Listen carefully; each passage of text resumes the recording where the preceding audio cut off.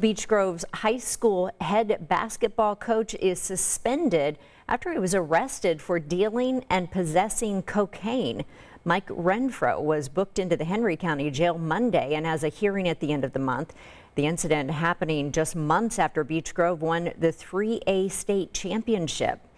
Dr. Laura Hammack, the superintendent of Beech Grove Schools, says Renfro is suspended pending an investigation. School officials and district counselors are available to answer any student questions.